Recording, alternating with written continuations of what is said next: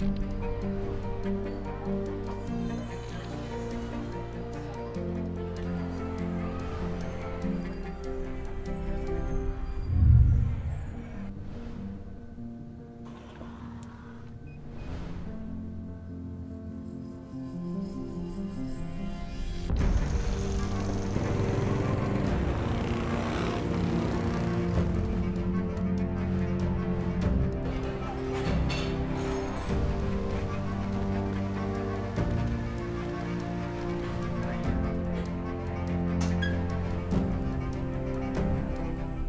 We've been mapping cigatoxinide sequences in time and space all around the world.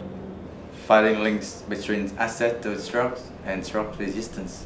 We have even sequenced the genome of the pathogen to track where the disease comes from. We need more evidence from the uh, uh, clinical trial to uh, see that whether we should use antimicrobials or not, or what types of antimicrobial we should use for treat the patient with diarrhea.